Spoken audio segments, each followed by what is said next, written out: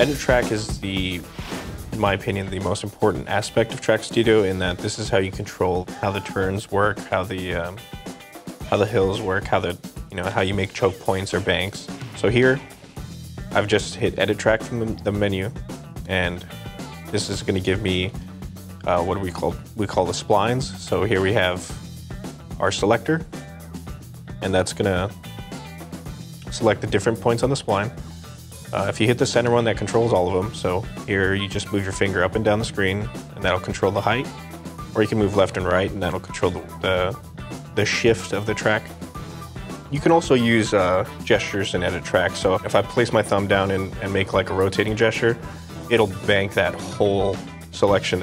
I can also widen the whole selection with the, with the centerpiece selected. So if I move my fingers apart, then it'll widen the whole track, or I can bring it in. One of the things we've made that uh, is a lot quicker to edit your track is called copy mode. So if you hit copy mode right here, that turns the toggle orange, and as you move your left stick forward or backwards, you'll notice that it's going to take whatever properties you had on the spline before and it's going to copy them over to the new spline. So here, I'm raising the height and I'm just copying them over.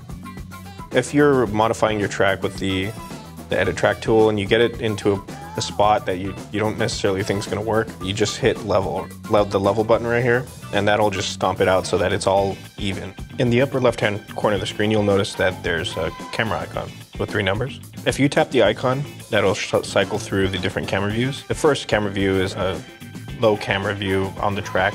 Uh, the second one is going to be slightly pulled out, a little bit more pitched overhead.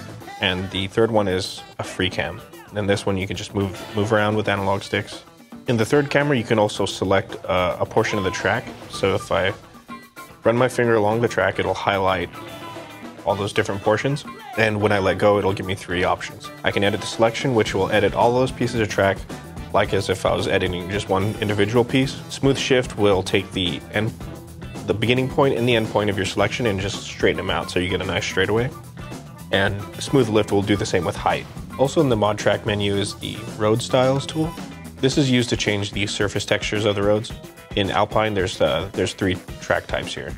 So if I choose this regular race surface, and just touch my finger on a portion of the track, it'll change that road type into the, the selected type.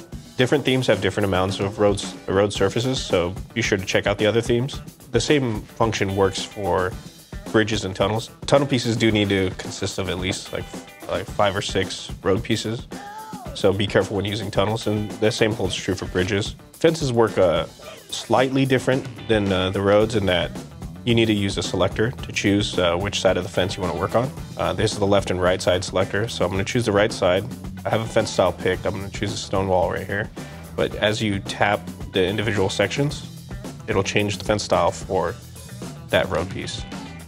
Pressing the triangle button in fence mode will initiate the, uh, the delete function. So if you notice that the marching outlines have turned red, just tap in the area that you want to delete fences and it'll remove the fences from the road. The redraw section is where you go when you need to recreate a large portion of track. Just select one point to start and choose another green section of the track and that'll delete all the pieces in between. And then from there you just drag your finger and create the new piece of track that you want to create. Redraw is the same as repave. Repave will you manually go into the steamroller. The way to create shortcuts is alternate route. Again, we have green highlights to show which are valid points. I tap on the piece of the track I want to change, and that's going to tell me I'd like to connect the branch to the left or right side. Uh, for this piece, I wanted to connect it to the right side. After I've selected my start point, I choose a endpoint with, uh, with green highlights, and I want it to be on the right side. And that's going to create a shortcut there. So the last tool we'll talk about inside of ModTrack is the off-road path. You can create your own custom shortcuts with you know, using the terrain as the road. You can have them driving over the tops of buildings. You just choose a start point that begins on the track, and you drag your finger across the path that you want to make. And when you reconnect with the track, you'll notice that the uh, the little bubbles there are turning green. And then once you release, your off your off-road path is now created. If you have fences there, you need to go in and, and delete the fences so that you can access this off-road path. So now that when I go to test it, And I can do that quickly by pressing the start button. Then I come over here, press the start button to test. See that the this is the shortcut, even though I haven't done anything to highlight it. I can now drive into that shortcut.